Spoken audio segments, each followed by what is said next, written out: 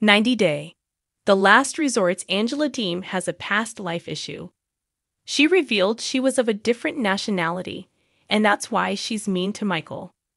Angela Deem claims to have been Italian in her past life, using it as a justification for her abusive behavior towards Michael Ilesanmi.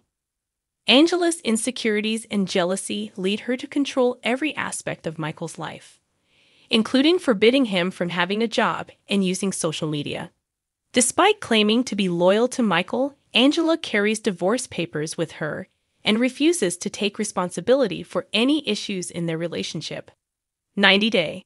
The last resort star Angela Deem claims she was Italian in her past life, and that affects the way she treats Michael Ilesanmi.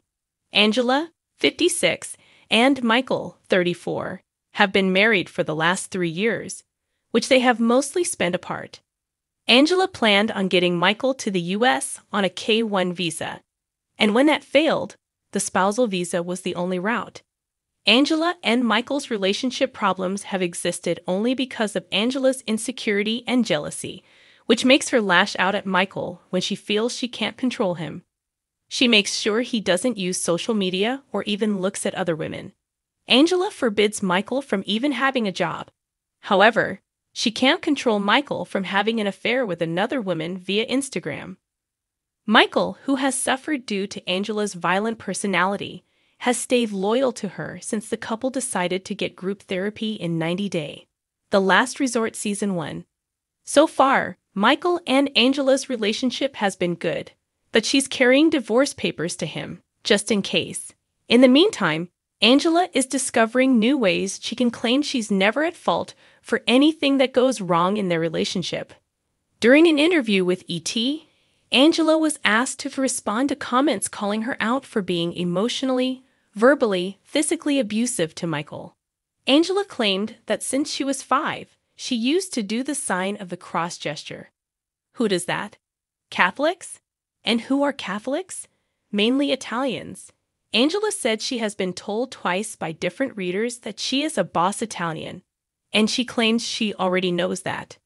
She asked the interviewer if she'd ever been around Italian women. They tell their husbands, screw you. And they immediately say, let's go eat.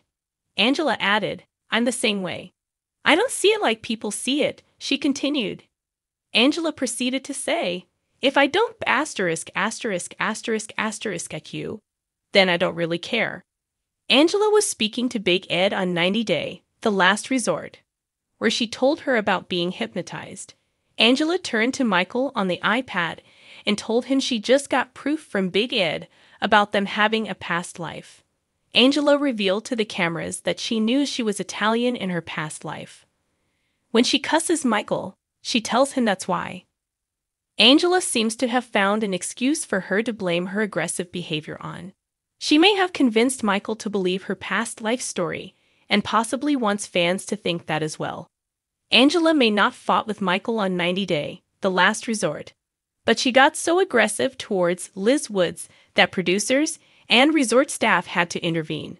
There were rumors of Angela getting fired from the franchise, but she keeps insisting that she's going nowhere.